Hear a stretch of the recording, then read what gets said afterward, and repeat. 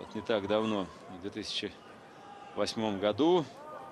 И здесь на ринге финального турнира, финального гран-при Кейван,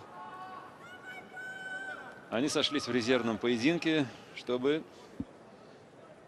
в случае травмы основных спортсменов из восьмерки, ну сейчас уже четверо осталось, две полуфинальные пары, чтобы кого-то заменить. Такая рулетка, такая лотерея. Ну, для начала нужно выиграть резервный бой. Черных набедренных таких повязочках Мелвин Манхоф. В черных трусах Поль Славинский.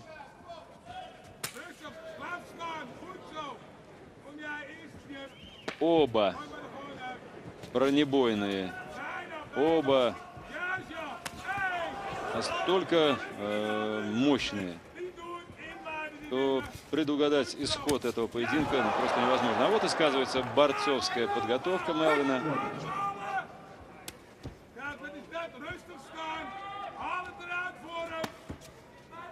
Весит немного. Ну, вы можете представить, 85 килограмм, а бьется с супертяжеловесами Мелвин Манхоф. Это говорит о чем? О том, что он великолепный боец.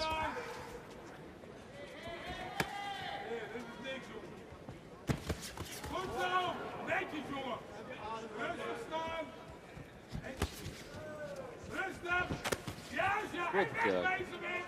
Блокирует удар ноги соперника неуловимым движением. А здесь руки. Руки и еще раз руки. Страшные руки этого малыша.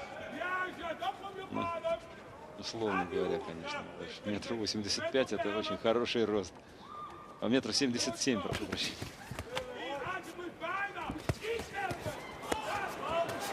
Вот так справа щелк. И Славинский не понимает, где он, кто он и зачем он здесь оказался.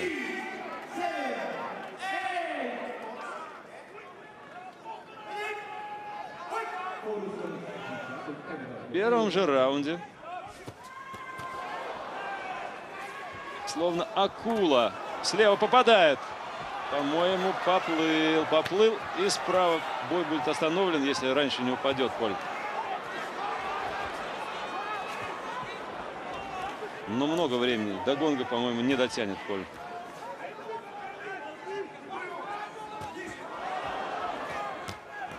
Одиночный удар, и все, все. Отгоните его. Уведите прочь. Вот такой ответ на оскорбление, на публичное оскорбление в том, что он уродлив. Ну, я бы не сказал, что он так страшен. Он подразнил его Поль и получил в челюсть.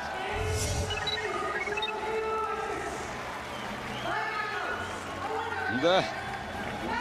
Да, это Мелвин Нанхоф. Крепыш, малыш. Метр семьдесят семь, 85 килограммов. А бойца ростом 190 сантиметров уложил. Да причем Славинский э, сам нокаутер записной. Рубака еще тот. И Майти Мован уронил, и Азиса Яхью. Ну,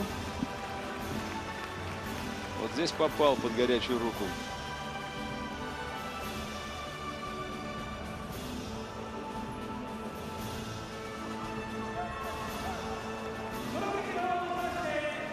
Вот как завершился этот бой для Поля Славинский.